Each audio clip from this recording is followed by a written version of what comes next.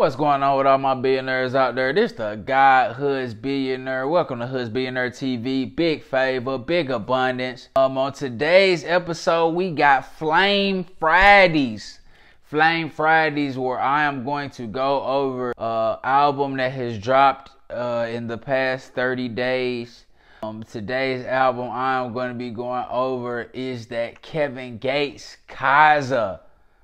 Khaza, let's talk about it. Let's talk about it. Now I'm a fan of Kevin Gates. I, have been a, I've been a fan of Brasi. You know what I'm saying? And um, you know I'm a like I've I've stated before in previous videos. His overall spiritual and mental evolution has been something to marvel at. You know what I mean? Like Luca Brasi, definitely one of them guys that you gonna respect. I respect Kevin Gates' moral foundation, his spiritual foundation, his mental foundation. You know, I respect his musical talent, you know. So let's just start with there. I know he kind of going through something with Dreka, but that's their personal business. We don't get in nobody else's business. That's what y'all need to start learning. Don't be getting in other people's business. That's that man personal business. Let that man work that out with his wife. But as far as this Khaza album, I'm gonna keep it real. It was okay. You know what I mean? Like I I had to be honest and say you know, it, it was okay. It wasn't his best effort, in my opinion. You know, it's definitely not giving me like that Luca Brasi 3 vibe. You know what I mean? To me, like that's his best album. That this is like I like the intro. The intro went hard. The intro, he was dropping some bo- he was dropping some some some boards in there.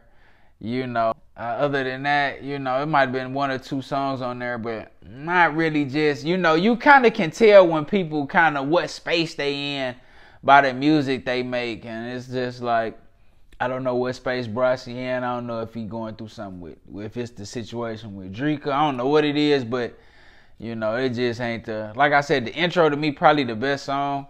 You know what I mean? He dropping bars in there. He got maybe one or two more songs on there, but it's definitely not like like I said, messing with like Luca Brasi three.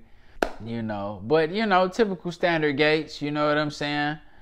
Like um, you know, just something to vibe to. You can take a couple joints off, put it on a playlist. You know what I mean?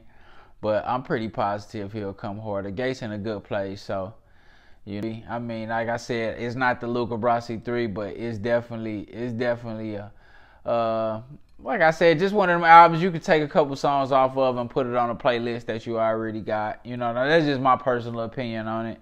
You know, I know Gates definitely come harder. Um, I'll give y'all a sleeper album to go check out is that Pretty Ricky Hyde from BSF, uh, Black Soprano family.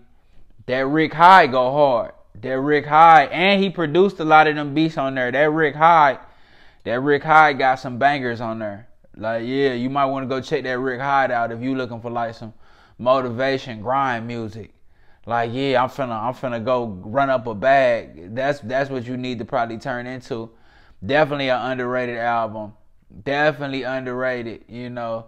Go grab that. Go grab that but go grab that kevin gates man. You listen to it. Let me know what you think. You know what i mean? Let me know what y'all think in the comments. What y'all think about that new gates. Y'all like it? Y'all rocking with it? Y'all think it's hard?